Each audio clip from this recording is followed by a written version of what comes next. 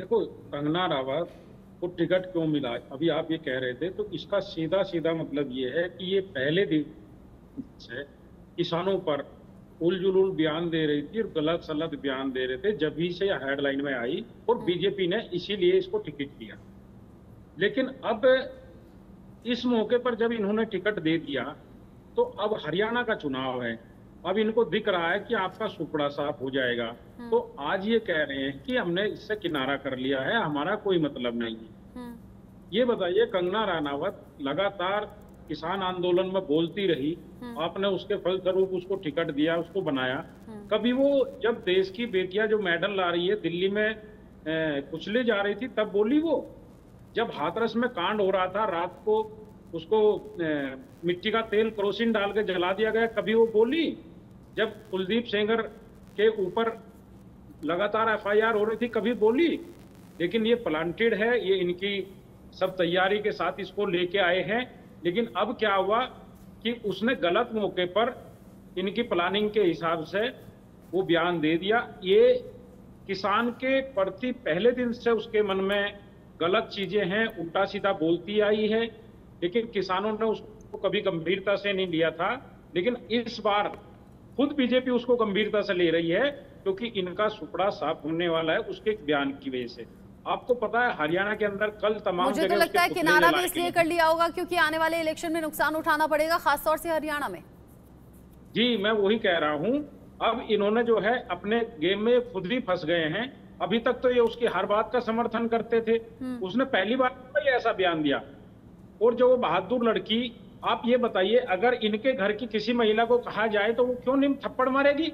उसने बहुत सही किया था हम आज भी उसका समर्थन करते हैं। नहीं हिंसा को तो कभी बढ़ावा नहीं देना चाहिए। थप्पड़ मारना किसी को सही नहीं है। अब की बार ये घुस कर दिखाए हरियाणा में। ये वोट मांग कर दिखाए और इसकी वजह से इनकी पार्टी के नेताओं को भगाया जा रहा है। अच्छा ये आप ये ऑलरेडी होने लगा है क्या। ये क्या आप अभी की बात बता रहे हैं? हो गया है कल अच्छा। तमाम जगह पुतले जलाए गए हैं और ये लोग अगर ज़मीन पे आएँगे तो इनको जवाब देना पड़ेगा। और किसान किसान गांधीवादी तरीके से पहले दिन से आंदोलन कर रहा है किसान ऐसे ही करेगा और इनके इस का जवाब वोट की चोट से देगा और आने वाले चुनाव में इनको पता लग जाएगा। इनकी एक प्लानिंग चल रही है हाँ। कि पंजाब में जो किसान आ रहा है उसको इन्होंने बॉर्डर पर रोका हुआ है। हाँ। तो पूरी बीजेपी तन मन धन षड्यंत्र सब कुछ करके कैसे भी हरियाणा में ये चाहती है कि हमारा ही सरकार दोबारा आ जाए हम्म ताकि पंजाब का किसान दिल्ली तक ना पहुँच पाए। जिस दिन इनकी सरकार बीजेपी से चली गई पंजाब का किसान हरियाणा का किसान दोबारा बॉर्डर पे आ जाएगा और फिर इनको दोबारा से किसानों की बातों मांगनी पड़ेगी फिर हाथ जोड़कर माफ़ी मांगनी पड़ेगी पहले की तरह। तो इनकी पूरी प्लानिंग है। अभी तो फ़िलहाल कंगना रनौत के बयान पर माफ़ी मांगने की मांग हो रही है और ये कहा जा रहा है कि कंगना रनौत को माफ़ी मांगनी चाहिए। बीनू मेनन जी आपको लगता नहीं कि यही बयान अगर किसी और पॉलिटिकल पार्टी के किसी और लीडर ने मैं कह रही हूँ छोटे लीडर ने सांसद तो बहुत बड़ी बात है किसी और छोटे लीडर ने ही दिया होता या किसी और दूसरे पद पर बैठे हुए लीडर ने दिया होता तो आप लोग तो बवाल कर देते अब तक। देखिए आप इस बात को समझ नहीं रही हैं कि बीजेपी ने इनके बयान को अनऑफिशियल करार कर दिया और बकायदा उनके खिलाफ जो है एक नोटिस जारी कर दिया है। ये कह रहे हैं कि अब की बार जो है कंगना रनौत पे एक्शन लिया नुपुर शर्मा जी पर क्यों एक्शन लिया? कभी भी किसी के भावनाओं को ठेस पहुँचती है तो बीजेपी उस पर संज्ञान लेती है। इनके कर्नाटक भैया बीजेपी के बीजेपी के खुद प्रधानमंत्री भैया बीजेपी के जो सीनियर नेता है वो खुद अपमान कर रहे हैं। उन पर क्या एक्शन ले लिया? अरे खुद कह रहे ये तो। आंदोलन जीवी है। आंदोलन जीवी का मतलब समझते हो क्या होता है? हाँ हम आंदोलन जीवी हैं आप लोग आंदोलन जीवी नहीं है क्योंकि आप देश विरोधी हो। हम उस नस्ल के हैं। जिन्होंने आंदोलन करके भारत देश को आज़ाद दिलवाया। आप उस के विद्यार्थी हैं जिन्होंने पचास साल तिरंगा नहीं पहरा वो आंदोलन से दूर रहते थे। हम लोग आंदोलन जीवी हैं।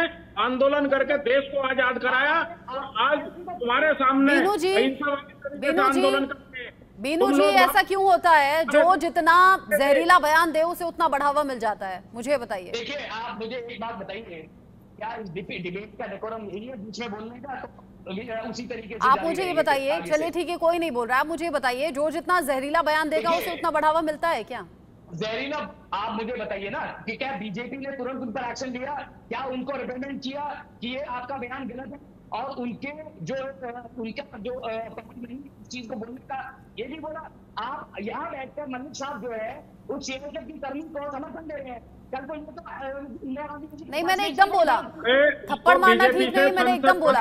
अगर मैं आपसे आपके बारे में पूछूँ बीनू जी अगर मैं आपसे आपके और आपकी पार्टी के बारे में पूछूँ तो आप उससे जुड़ा जवाब दीजिए। ये कहना ये कहना लॉजिकल नहीं है कि वो दोषी तो हम कम दोषी तो हमें क्लीन चिट ना मैं आपसे आपकी पार्टी का पूछ रही हूँ आप अपना बताइए। इस बात को तो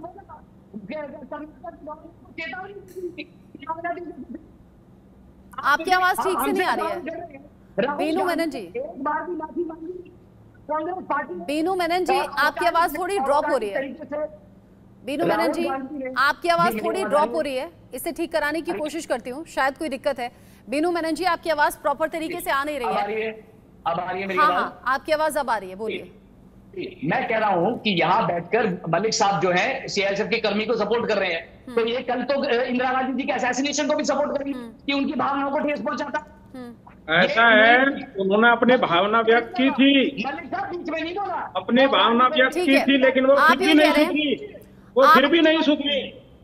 वो फिर भी नहीं सुधरी है। वो फिर कोई उसको डाला मार देगा कोई चप्पल मार देगा कोई थप्पड़ मार देगा तो क्या करेगी?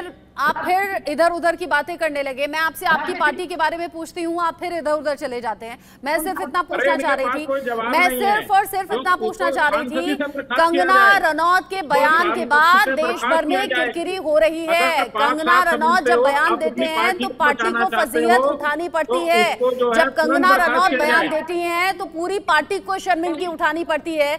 अगर कोई एक नेता अगर कोई एक सांसद बार बार इस तरह के बयान दे जिससे कि पार्टी को नुकसान भी हो, पार्टी को शर्मिंदगी भी झेलनी पड़े, पार्टी को फजीयत भी झेलनी पड़े तो सोचने वाली बात है, सोचना चाहिए कि कैसे उनकी ज़ुबान पर लगाम लगानी है या फिर कैसे उल जुलूल बयान देने से बचाना है ताकि पार्टी की इज़्ज़त बरकरार रहे। ये सोचना चाहिए आपको क्योंकि कोई छोटी मोटी नेता नहीं, बीजेपी की सांसद हैं कंगना रनौत। वरुण जी, लेकिन बीनू मैनन जी से मैं जब जब सवाल पूछ रही हूँ, वो सीधा कांग्रेस पर आ जाते हैं, वो कांग्रेस नेताओं के बयान पर आ जाते हैं, वो राहुल गांधी के बयान पर आ जाते हैं। आप देखिए हमने तो हमने तो औपचारिक इसको क्योंकि मेरे पास टाइम कम है। वरुण जी का रिएक्शन मुझे लेना है क्योंकि टाइम कम है मुझे वरुण जी का रिएक्शन लेना है फिर मुझे वाइंड अप भी करना है। बीनू जी आप बहुत बोलिए वरुण जी बोलेंगे। रचना जी रचना जी मैं आपका साधुवाद देता हूँ आज। बहुत कम पत्रकार हैं जो डायरेक्टली बीजेपी से इस प्रकार का प्रश्न करते हैं। लेकिन आप मुझे बताएँ जब राहुल गांधी कोई बयान देते हैं तो इनके कार्यकर्ता और उनके आप सदस्यता रद्द कर देते हो तुरंत ही। आप क्यों नहीं सदस्यता रद्द कर देते हो कंगना राहुल की?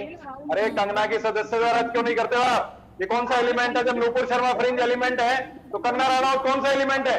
बताइए आप फालतू की बातें कर रहे हो बैठ करके। आप यहाँ तो जवाब दे नहीं पा रहे हो आप। नहीं, क्यों नहीं दे पा रहे हो जवाब आप क्यों नहीं उसकी सदस्यता रद्द कर देते हो आप? इतने एथिक्स है मॉरल है आप में सदस्यता रद्द कर दो आप। सदस्यता रद्द क्यों नहीं करते हो? नूपुर शर्मा, फ्रिंज एलिमेंट हो गई। और ये आपके, ये कौन सी एलिमेंट है? आप जवाब दो। क्यों दिया टिकट ऐसे आदमी को? नहीं, ऐसे आदमी को किस, क्या क्राइटेरिया था टिकट देने का? क्या क्राइटेरिया था सांसद का टिकट देने का? कंगना राणावत को आप बता नहीं पा रहे, फालतू बातें कर रहे हो वहाँ बैठ के, कभी किस पे आरोप लगाते हो, किस पे आरोप लगाते हो? आप भी पढ़ाई करो। राजनीतिक सूझबूझ रखो आप। एक सांसद बहुत बड़ी ज़िम्मेदारी का काम होता है, सांसद। पावर लॉ मेकिंग बॉडी होती है पार्लियामेंट ऐसे लोगों को बनाओगे आप सांसद। भाई उसका कनेक्शन हटा हुआ है उसका इलाज कराओ। बहुत फ़र्क पड़ता है इस बात का। उसका इलाज कराओ बहुत फ़र्क पड़ता है इस बात का कि आपकी पार्टी के नेता कैसी भाषा का इस्तेमाल करें उनका आईक्यू लेवल क्या है उनका सामाजिक ज्ञान क्या है वो किस परिपेक्ष में क्या बयान देते हैं अपने भाषणों में किन शब्दों का इस्तेमाल करते हैं इन सब बातों का बहुत फ़र्क पड़ता है और सबसे ज़्यादा फ़र्क जो देखा जाता है वो देखा जाता है चुनाव के टाइम में।